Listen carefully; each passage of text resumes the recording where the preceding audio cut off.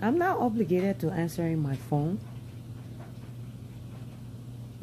You do nothing to me. You didn't do anything to me. You know, I'm just sick and tired. I'm just sick and tired of some of you men then who are not romantic at all. You just dry. You dry like Sahara Desert. You meet a girl, there's nothing. You First impression.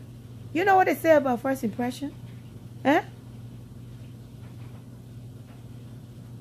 I know you took me to that fancy rest restaurant, but you was missing the key ingredient that was going to tell me that you are a very romantic man and you were going to keep me happy. Yeah, you did all that, but still, you didn't bring me roses. No, I'm not kidding you.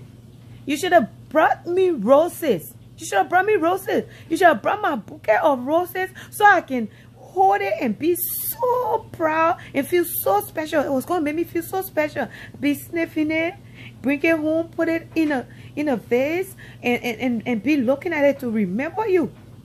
But that food we ate, I finished going to the toilet and I put away already. You don't bring me nothing. You bring me some kind of jewelry or something. Something that was going to leave a lasting impression. But just I ate that food and came home and poop. I forgot. I'm ridiculous? No, you ridiculous. You ridiculous. Your man train you. Yes, I'm taking it that far. No, you don't do that. You not do that. You don't seem, I don't think you're the kind of romantic guy I want. So this conversation is over. This conversation is over. I said bye.